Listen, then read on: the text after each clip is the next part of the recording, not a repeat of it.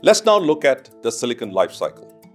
As we look at mission critical applications in the data center space, the IoT space, or the automotive space, we can no longer be blind to what's happening inside the chips, especially during in field operation.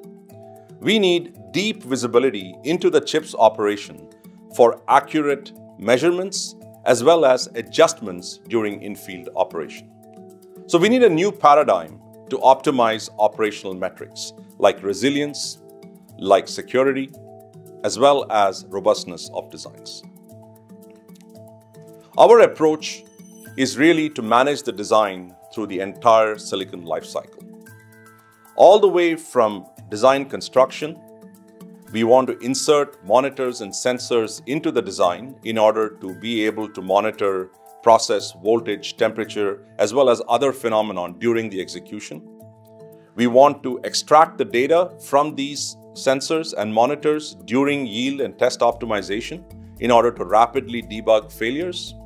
We want to analyze this data during system bring up in order to debug functionality, as well as we want to monitor as well as optimize during in-field operation so that we can optimize metrics like resilience as well as security.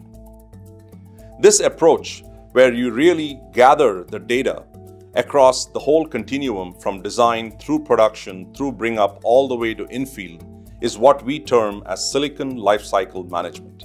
And we have put together an impressive array of technologies and products in order to cover the entire lifecycle.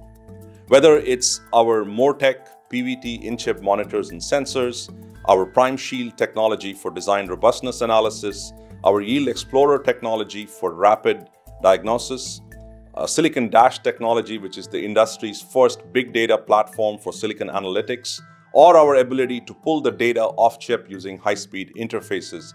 All these are integral components of our solution. Here is an example of how customers are using our SLM technology to improve in-field performance. By inserting voltage and temperature monitors and sensors into the designs, they are able to extract that data from the chip and then adjust the voltage and the frequency accordingly, depending upon what the readouts are in terms of temperature as well as voltage variation. So this is a great example of how having these uh, monitors and sensors allows us to review the design during its operation in the field and then make the necessary adjustments to optimize the overall system level performance.